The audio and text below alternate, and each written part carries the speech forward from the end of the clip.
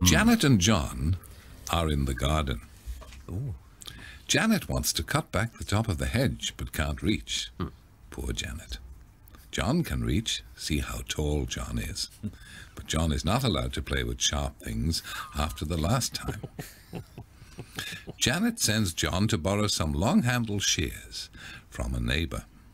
Clever John remembers he had often seen Mrs. Frontage trimming her hedge. See John ring the doorbell.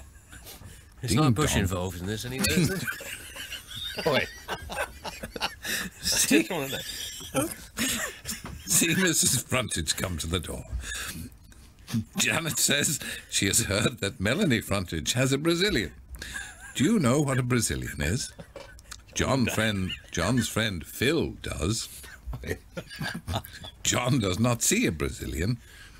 Hello, Johnny, says Mrs. Frontage. What can I do for you today? John says, I wondered if I could borrow some shears.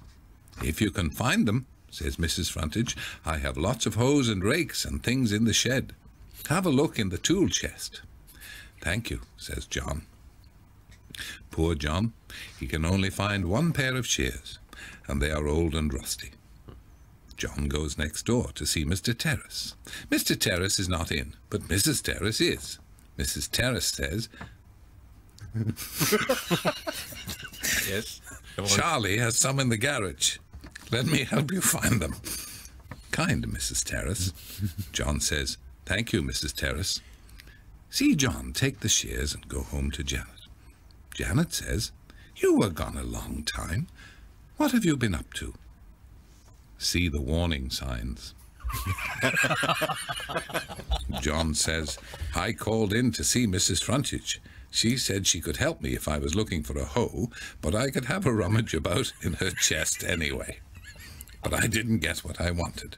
It wasn't until Mrs. Terrace showed me her Charlies in the garage that I came across a pair that were big enough.